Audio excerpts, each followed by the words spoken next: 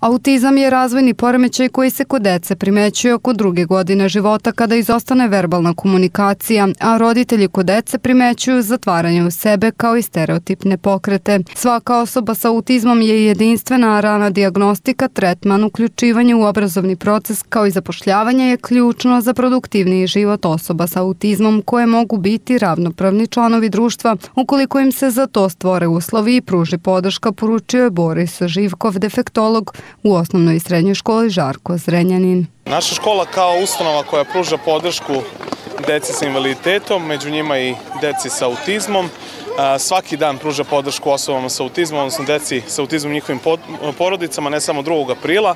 Autizam je spektar, samim tim imamo osobe sa autizmom koje su upisale fakultete, koje su završile fakultete i imaju mogućnost sasvim normalnog funkcionisanja i participiranja u društvenim nekim aktivnostima i imamo osobe koje nažalost zahtevaju jednu, jedan vid podrške celog života.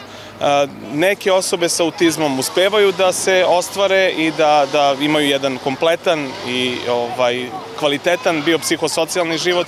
Neke osobe sa autizmom, nažalost, to ne uspevaju. Osobe sa autizmom suočavaju se sa problemima u komunikaciji i socijalizaciji zbog čega je veoma važno da budu uključeni u vršnjačke grupe. Kako bi se to postiglo potreban je multidisciplinarni pristup koji zahteva rad psihologa, defektologa, logopeda, reedukatora psihomotorike kako bi se putem tretmana omogućio razvoj, a zatim i socijalizacija, poručila je defektološkinja Anika Lišćević. U našoj školi postoji kompletan multidisciplinarni tim i defektolozi iz naše škole su pohađali različite obuke koje su svetski priznate metode rada sa decom sa autizmom kao što je TEACH program, e, kao što su PEX sistemi komunikacije, kao što je ABA metod i neki drugi. Autizam u svetu pogađa jednu od 100 osoba, što znači da u Evropi trenutno živi 5 miliona autističnih ljudi. Zbog nepostojanja nacionalnog registra osoba sa invaliditetom nije poznat tačan broj osoba sa autizmom u našoj zemlji.